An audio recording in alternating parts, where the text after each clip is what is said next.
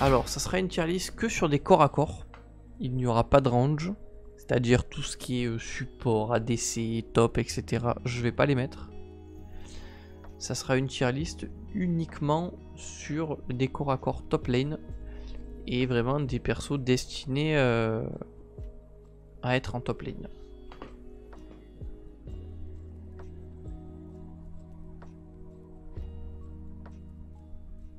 C'est Scobad.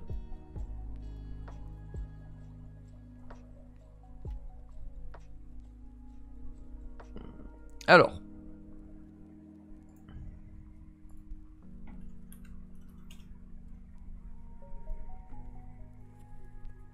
C'est une tier list qui, pour moi, sera à peu près d'un elo, on va dire, bronze, silver jusqu'à plat diamant. D'accord?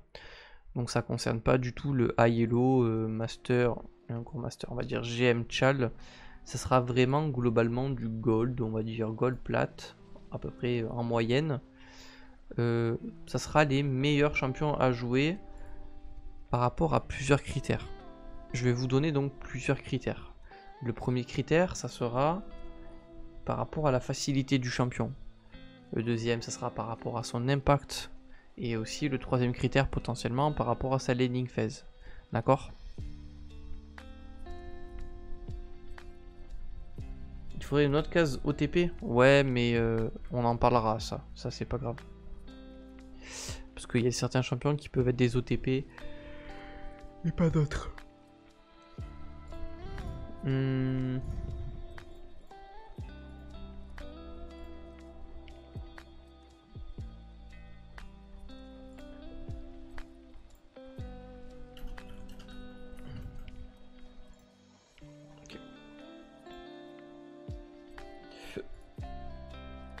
Non, j'ai pas été mêlé.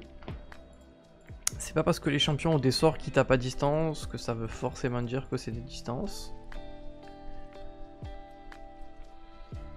Euh... Ça c'est bon. Ok. Je vais vous donner, pour moi, euh, vraiment les champions Gauthier de la solo queue en top lane on va dire, après le patch, euh, on va dire les champions les plus simples à maîtriser, entre guillemets, ceux avec le meilleur 1v1 et la meilleure possibilité en fait de, créer du jeu. Pour moi, un des meilleurs champions, sincèrement, à jouer, le numéro 1, le plus fort à Baelo, sans le moindre doute possible, c'est Garen. C'est Garen, tout simplement parce que le champion est très facile à maîtriser, il est très puissant, il a un très bon niveau 1, il a un très bon scaling, enfin bref, le champion est très complet. Le champion est très complet et très puissant. Ça c'est important. Donc si vous savez pas quoi jouer en top lane, ne vous embêtez pas à jouer des champions ultra mécaniques. Vous prenez pas la tête, jouez Garen. Je ferai une vidéo dessus pour expliquer un peu le stuff, etc. Euh, dans les prochains jours, pour ceux que ça intéresse. Si jamais euh, certaines personnes sont encore là en mode euh, je connais pas trop le champion, etc. Salut Noah, ça va ou quoi? Le deuxième champion pour moi qui est vraiment très fort en solo queue, Baelo, c'est Mort de Kaiser. Mort de Kaiser. Pourquoi? Pareil, même s'il a des skill shots, c'est un champion qui, euh, même sans skill shot, peut être très fort, notamment grâce à son passif et ses auto-attaques. Le champion est très puissant en 1v1, notamment grâce à son R. Merci Manez pour ton follow. Le R le rend vraiment très puissant euh, et euh, quasiment imbattable en 1v1. Ça force clairement à, euh, acheter une QSS. Pardon. Ça force clairement à acheter une QSS. Le champion est très complet. le seul bémol, c'est qu'il peut se faire kite parce qu'il n'a pas de dash. Mais bon, ça après, je pense que entre guillemets à Bailo, c'est pas le truc le plus compliqué. Et voilà, j'ai fait pas mal de vidéos sur YouTube si des gens veulent voir un peu les stuff, etc. qui peuvent se faire dessus. Le troisième perso qui va être pour moi très très fort, qui vient de se faire up, ça va être 7. Euh, tic tac, tic tac, il faut juste que je le trouve. Il est. Pour moi, 7 va être vraiment euh, très très très fort. Ouais, tu peux le jouer jungle aussi. Tu peux le jouer jungle mort 2, et euh, bah, le jungle peut te gank très facilement mort 2. Tu peux, très bien gank pour un mort 2, mais mort 2 niveau 6 peut pas, quasiment pas se faire gank. Et ça, c'est une très bonne chose. Alors, 7, pourquoi? Parce que bah, il est buff, donc il va devenir plus puissant. Le champion est pas très compliqué à maîtriser, je trouve. Il y a des petites mécaniques, des petites subtilités, mais globalement, tu peux faire beaucoup de dégâts. Il est très fort avec le champion, euh, même si, euh, on va dire, mécaniquement, tu n'es pas au top. Un simple E avec des auto-attaques et un Q-spell, tu prends des dégâts, tu claques un Z, tu vas faire énormément de dégâts, tu vas pouvoir out-trade beaucoup d'adversaires, sachant que maintenant avec la lame, enfin avec le build de lame de roi déchu, 7 est relativement fort quand même. Donc pour moi, ça va être un champion God tier euh, au niveau de la solo queue, euh, on va dire euh, bas, mid, mid elo. C'est rien, je sais pas, je sais pas du tout. C'est je sais pas sur cette tier list, il y a lui qui apparaît et mhm. Mais ils ont rien à foutre ici. Il y a également Trundle. Trundle pour moi est un perso qui est vraiment qui est vraiment très puissant, qui est vraiment très très très très puissant en top lane. Euh, pareil, le champion a très peu de mécanique. Il est très puissant naturellement, quasiment pas de skill shot, beaucoup de dégâts, beaucoup de tankiness, un split push de baiser.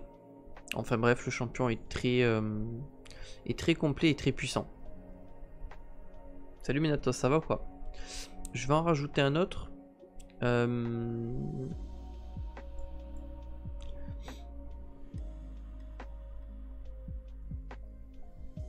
Alors j'hésite. J'aimerais bien mettre Warwick en vrai. J'aimerais bien mettre Warwick. Darius. Mais je pense que Darius est mieux.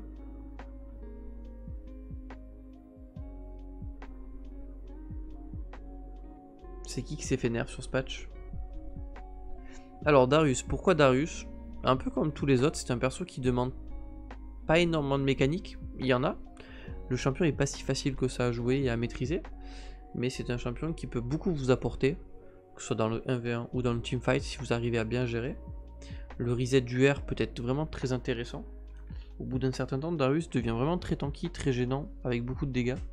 Et le early lane est relativement simple. Il a énormément de match-up positifs, donc le champion est vraiment très fort. Le champion est vraiment, vraiment, vraiment très fort. Trundle s'est fait nerf. Ouais, mais le champion pour moi reste quand même fort. En vrai. Voilà. Pour moi, c'est un peu le, les 5 champions.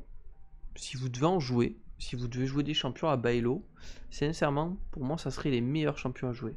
Vraiment. C'est pas compliqué. Pas énormément de mécanique. C'est quand même fort. Enfin, voilà. On va passer. Je vais, en, je vais en rajouter maintenant. Je vais en mettre en très fort. Et je vais expliquer pourquoi je les mets pas forcément en Gotcher je vais mettre à Atrox. Atrox qui est vraiment très très très fort aussi. Attendez, ne demandez pas les champions les gars, je, vais essayer de les faire tous, euh, ou du moins de faire les plus intéressants. Je vais vraiment essayer de vous faire les plus intéressants, laissez-moi faire, ça rien de demander tous les champions. Donc Atrox, Atrox c'est un perso très fort mais qui demande quand même pas mal de mécanique. Mine de rien, il y a des subtilités, il y a des skillshots avec son Q-spell. C'est un perso qui peut être très fort mais qui demande quand même de la maîtrise. C'est pas un champion que tu peux maîtriser en claquant des doigts. T'inquiète. Euh, t'inquiète BG.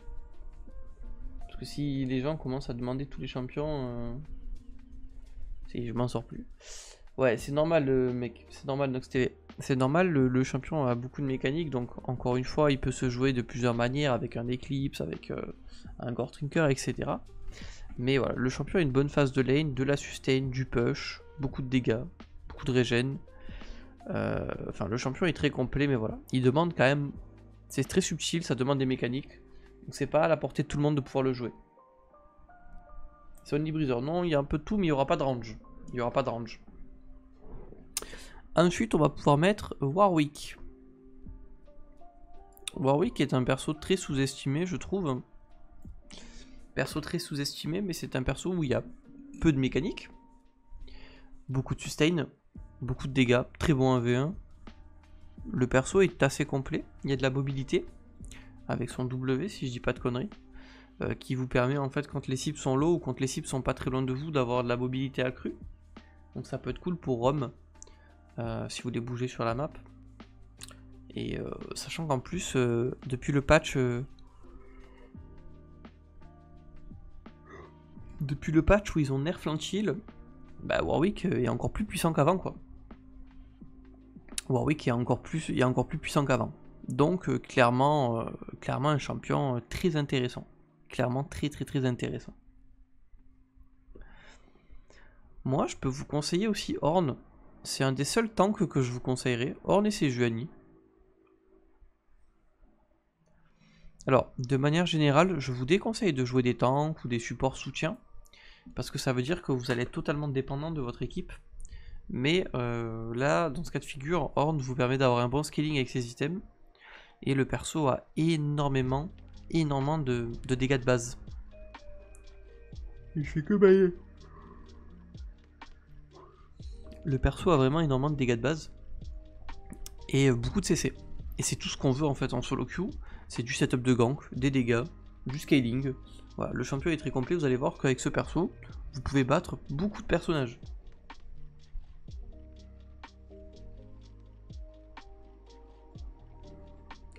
Et ces Joanny, c'est un peu pareil. C'est un peu comme Horn, moins de scaling, mais euh, beaucoup de CC, une très bonne phase de lane, beaucoup de dégâts.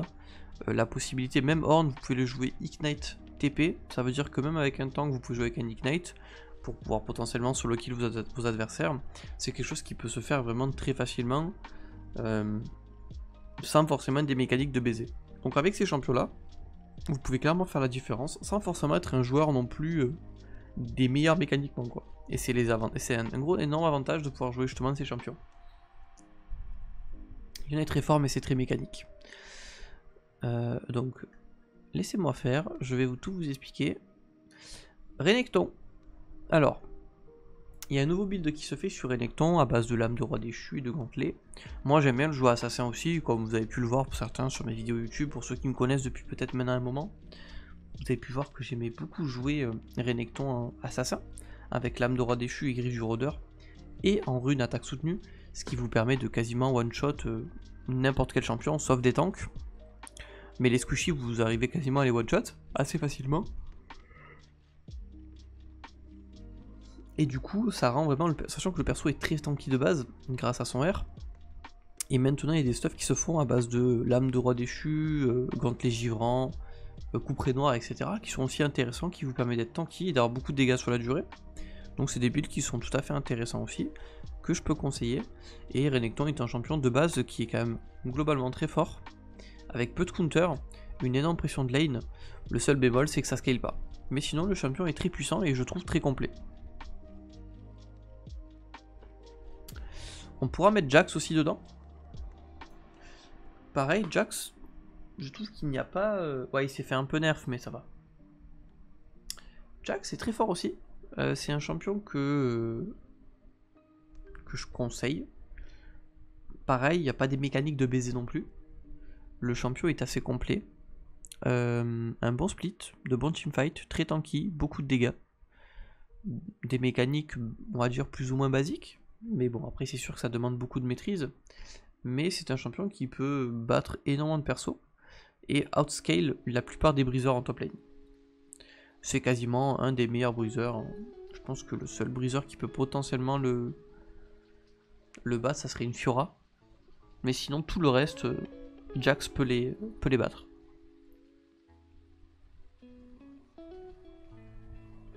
Après, Jax peut se faire counterpick assez facilement, ouais. Ça oui. Ça c'est vrai. Alors. Maintenant on va passer vers les OK on va dire. On va mettre Irelia dedans. Alors certains vont me dire mais non mais Irelia c'est broken. Alors. Irelia ça peut être très fort. Ça peut être vraiment très très très puissant. Mais ça demande de la maîtrise. Ça demande beaucoup de mécanique Irelia. Un très mauvais joueur d'Irelia va se voir de suite. Et ça sera pas très compliqué à battre. Euh, c'est un peu comme Camille. Euh, non, Camille, je la mettrai pas là. C'est un peu comme Olaf pour moi. Euh, c'est des persos qui sont vraiment très forts, mais qui demande quand même, ça commence à demander des mécaniques. Et euh, du coup, je vous, pas que je vous les déconseille, je, je, vous les conseille si vous voulez vraiment vous amuser mécaniquement à faire des choses. Mais c'est des champions qui vont demander quand même beaucoup de maîtrise, beaucoup de mécanique pour pouvoir utiliser tout le potentiel. Alors que certains champions, par exemple comme Garen, t'as pas forcément besoin de mécanique pour utiliser euh, énormément de potentiel du perso. Donc c'est des champions qui sont ok, mais je les conseille pas. Mais ça reste très fort. Ça reste très très fort. Même un Olaf, hein, c'est pas facile. Hein, le, les resets d'auto, le lance, enfin le, les haches, les skill shots, euh, bien utiliser le, reset de hache, etc. Mine de rien, il y, a des mécaniques. Vous vous en rendez pas compte, les gars Vous vous en rendez pas compte parce que vous n'avez pas joué les champions, mais je peux vous assurer, même un Olaf, il y a quand même des mécaniques, il y a quand même des subtilités qui font qu'un mauvais joueur d'Olaf va servir à rien en fait. Ouais, Olaf, c'est plus un counter pick. Gwen, c'est un peu pareil. Gwen, c'est un perso qui peut être vraiment très fort. C'est un perso qui peut être vraiment très fort, mais pareil, qui demande quand même des mécaniques, des subtilités. Donc, c'est pas forcément facile euh, à sortir. C'est clairement pas facile à sortir. Euh, bah, parce que ça peut se faire counter par beaucoup de champions. Et bah, le champion a été beaucoup nerf, beaucoup modifié, donc c'est compliqué de savoir un peu la place qu'elle a à l'heure actuelle.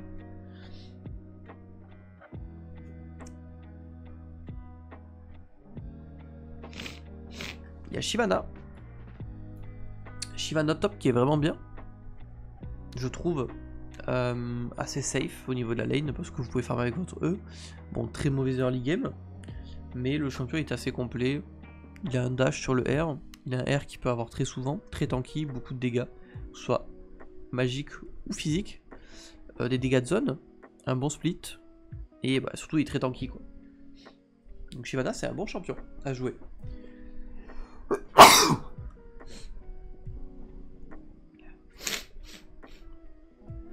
Hmm.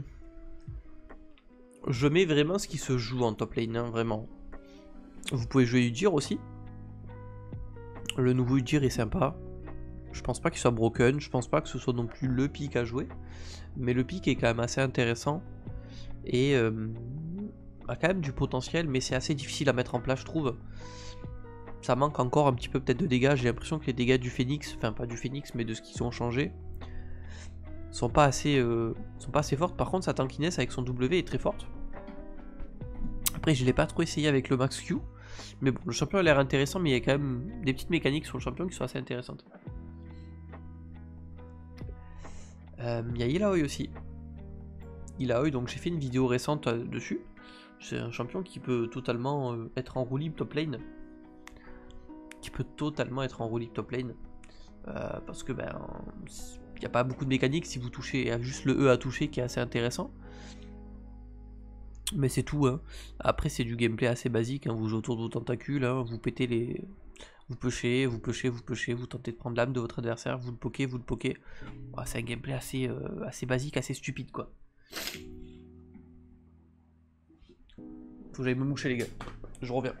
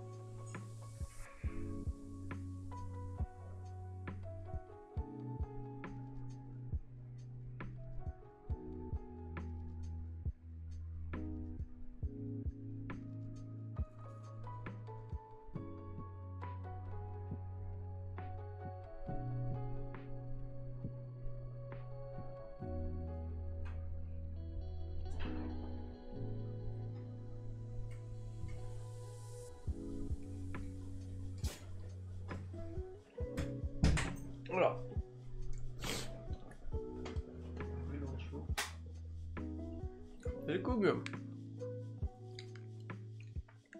Kung.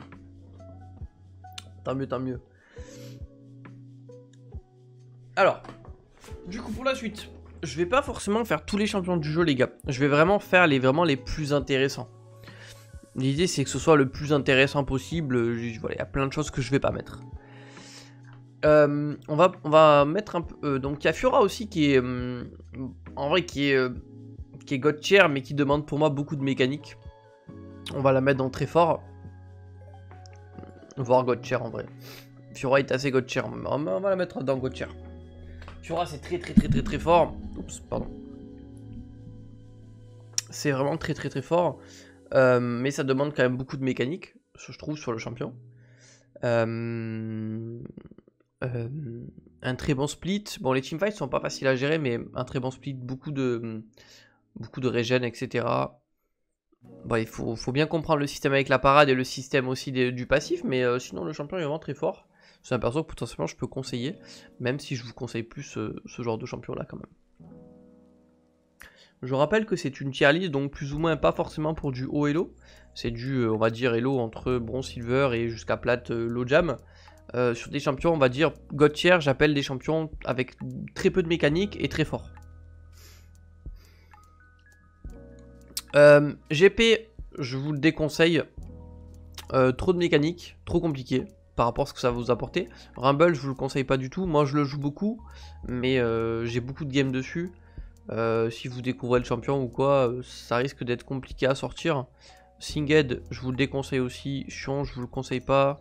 C'est des champions un peu trop complexes, trop bizarres à jouer. Mundo, je vous conseille pas non plus à jouer. Euh, Maokai, alors après il vient de se faire up, donc je mettrai un point d'interrogation. Je mettrai un point d'interrogation sur Maokai. Je pense que ça va être mieux en jungle, mais en top lane, je pense que ça reste pas très fort. Fiora, très peu de mecs. Non, non, il y en a beaucoup de mécaniques sur Fiora. Akali, euh, à éviter aussi, les gars, je vous le déconseille. Euh, Camille, éviter aussi, ça a beaucoup de mécaniques aussi, c'est pas ouf.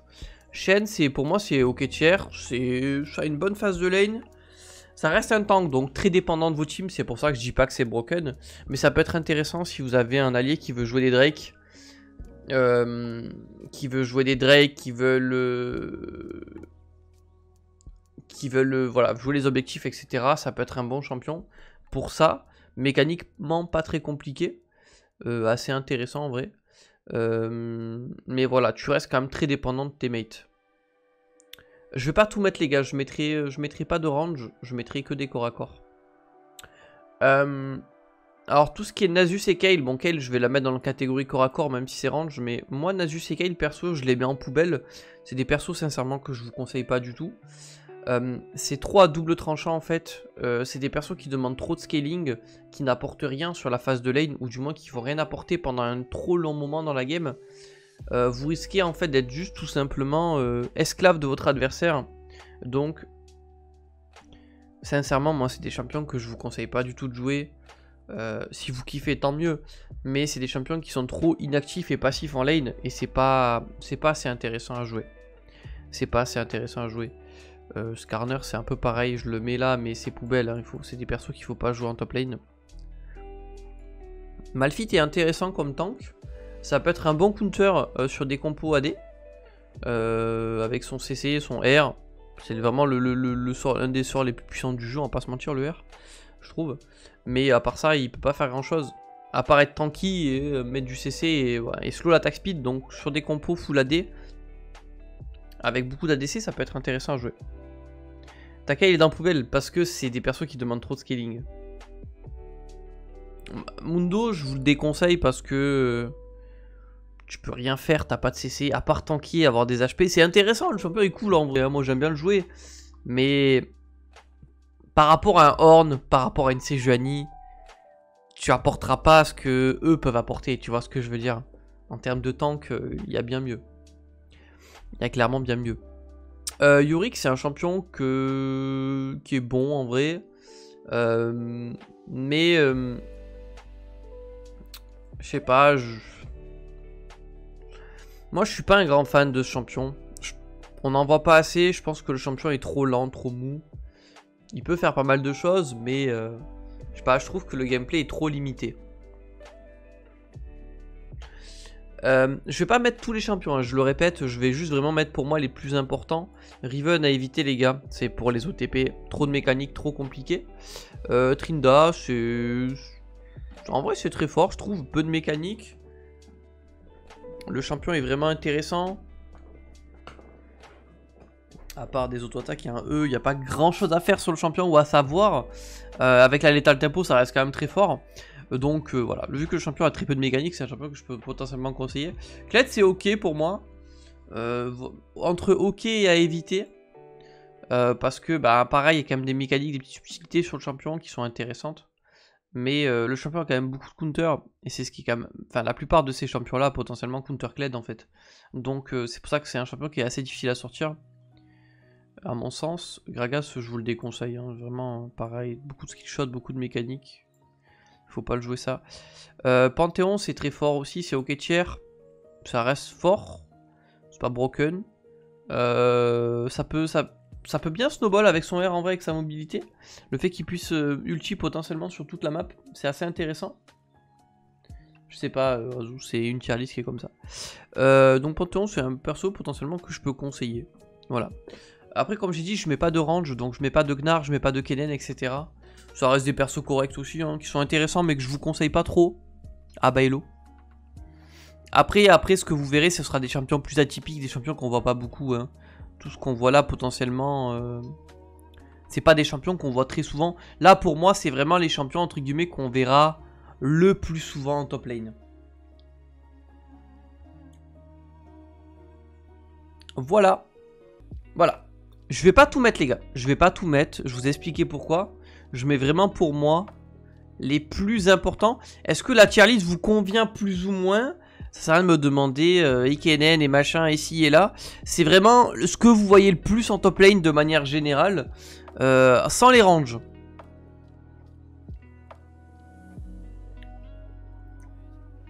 Pour moi, ça reste cool. Donc voilà, c'est les champions que je vous conseille.